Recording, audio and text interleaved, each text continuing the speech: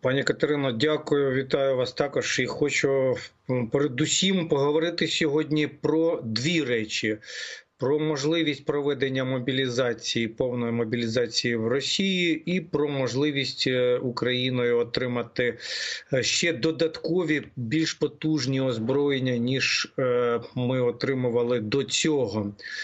Ну, Перше мобілізація. Так е, почати треба з того, що Росія і Путін не можуть таки визнати поразки е, на Харківщині, і е, тому вигадують різноманітні такі думки про те, що.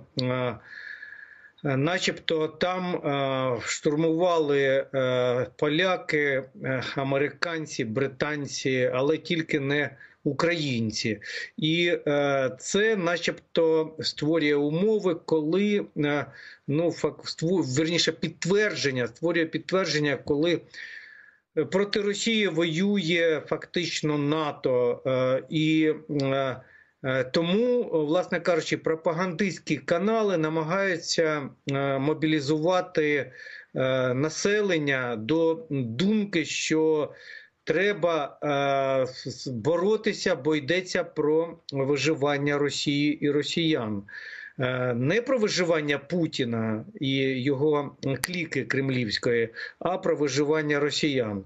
Ну, таку простеньку брехню намагаються е, нав'язати пересічному росіянину. І для чого це робиться? Ну, очевидно, що відбувається дуже ретельне вивчення, чи можливо провести таку мобілізацію, і е, чи це е, можна зробити е, безпечно для влади. Це зараз головний момент. Ну і звісно, чи допоможе, чи може допомогти така мобілізація взагалі. Важливо одразу зазначити, що е, і це напевно знають в Генеральному штабі Російської Федерації, і знають напевно і в Кремлі. Про те, що мобілізація може бути ефективною, якщо вона відбувається з метою організувати оборону країни, оборону батьківщини. Тоді всі на захист держави, вставай страна огромна. Ну, приблизно у такий спосіб це діяло в СРСР, і ну, певною мірою воно е, себе виправдовувало, якщо, звісно, заплющити очі на заград е, загони і е, на те, що було покладено мільйони. Людей у землю, людей непідготовлених або майже непідготовлених до війни, власне кажучи, про це йдеться, тому що в Росії е, зможуть е, забезпечити, е, зможуть набрати дуже невеличку кількість підготовлених воїнів, які вже пройшли або війну, або мають досвід якийсь принаймні служби. До речі, зареєстровано законопроект. В Росії в Держдумі вже про те, щоб багатодітних батьків так само е, залучати до служби е, і, е, звісно ж, посилати на війну. Раніше цього не було, і це свідчить про те, що і не тільки розгорнута мобілізація, а й прихована мобілізація стикається з величезними проблемами. І е, якщо е, в Росії намагаються закрити дірки, ну фактично такими контингентами, як найманці чи ПВК Вагнер, або е, просто ув'язнені, яким дозволяють ну відмити на війні свої злочини, злочини відмити безумовно е, в лапках тут е, треба сприймати. Е, ну і разом з цим ідея мобілізації загальної пов'язаної з тим, що, начебто, треба боронити Росію від такого всебічного зла, як блок НАТО. Але фахівці вже підрахували, що дуже важко буде озброїти е, таких е, людей, і е, дуже важко знайти для них техніку військову, особливо коли йдеться про е, спеціалізацію таких е, вояків, скажімо там, артилеристів, якщо будуть поповнювати артилерійські підрозділи, або, скажімо, ну а як, скажімо, поповнити армійську авіацію, там, де пілотів з гелікоптерів по е, збивали і знищили, як поповнити е, кваліфіковані військово-космічні е, сили. Да? Я маю на увазі тих пілотів, яких втратили або які потрапили в полон. Ну, Е, тут е, взагалі е, в Росії на це питань немає. Тому йдеться напевно про те, щоб спробувати мобілізувати і організувати легкі. Легкі піхотні підрозділи, які Ну а як вони будуть боротися? Ну напевно, вони будуть е, якось самі собі щось здобувати, е, тому що якщо е, вони будуть е, е, лише одягнені і отримають автомати Калашникова, е, то це е, буде замало толку від е, таких підрозділів, і вони будуть або здаватися в полон. До речі, сьогодні стало відомо про те, що е, Україна. Е, українські збройні сили взяли трофеями сотні танків і тисячі вояків взяли в полон. Серед них і високопоставлені офіцери. То напевно ця мобілізація вона е, просто буде перетіканням в е, український табір у якості полонених. Ну інакше не важко якось це спрогнозувати, тому що будь-які інші варіанти вони досить важко вписуються в цю ситуацію, яка зараз відбувається. Я не несподівано згадав про пілотів авіації, про артилеристів, е, тому що, власне кажучи, і швидкі тактичні успіхи на Харківщині і раптовий наступ збройних сил е, за оцінками фахівців, якраз і е, відбулися, відбувся за рахунок того, що відреагувати артилерія російська не могла, тому що їм потрібні години для того щоб вирахувати цілі і дати цілевказівки на відкриття вогню. А е, тут вже відбувалося переміщення підрозділів і нічого не вдавалося. Тому артилерія виявилася безпорадною. Так само величезна кількість пілотів була знищена.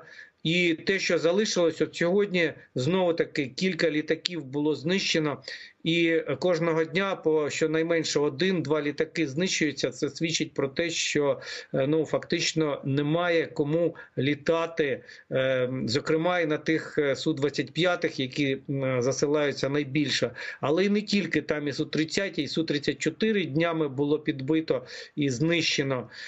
Тож дуже великі проблеми, і є думки, що ця мобілізація навряд чи може щось зробити, якщо навіть Путін на неї наважиться. А от на тлі цього е, українське військо е, розглядає можливості поповнення, е, власне кажучи, за рахунок отримання допомоги від Сполучених Штатів. Ну, по-перше, Financial Times сьогодні повідомило з посиланням на джерела в Пентагоні, що там навіть розглядають можливості передачі вже літаків та засобів ППО, напевно, прискореним шляхом, а не е, протягом років, як це заступник глави Пентагону наприкінці серпня казав. Е, тобто можуть бути змінені погляди е, Вашингтону.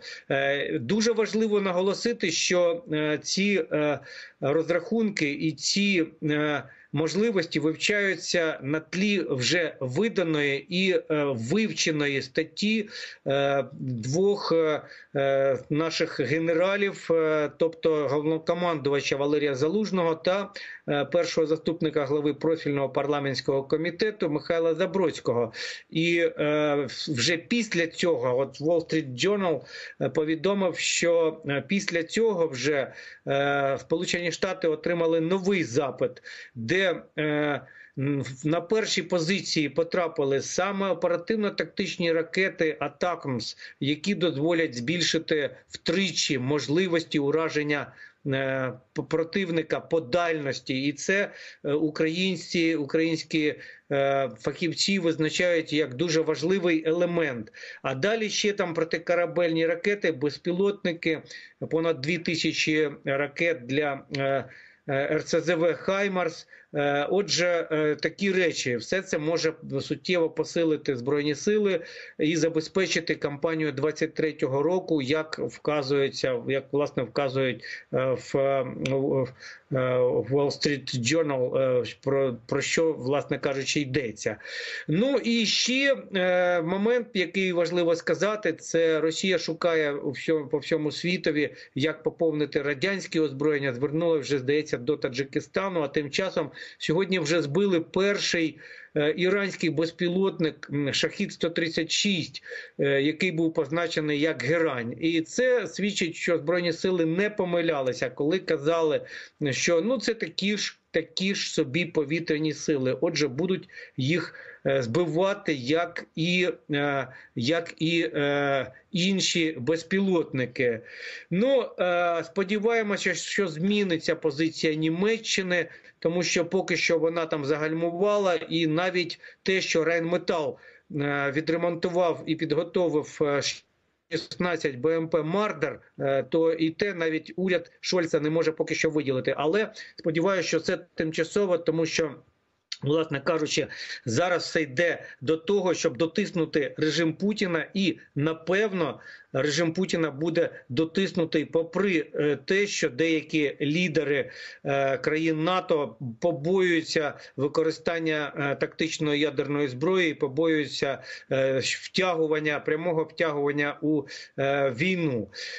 Все ж таки сміливість і кмітливість збройних сил України довела, що можна навіть тактичними успіхами змінити стратегічні цілі ворога. І саме на цьому я хочу наголосити, і саме це хочу, щоб ми запам'ятали про 2002 День протистояння російській агресії.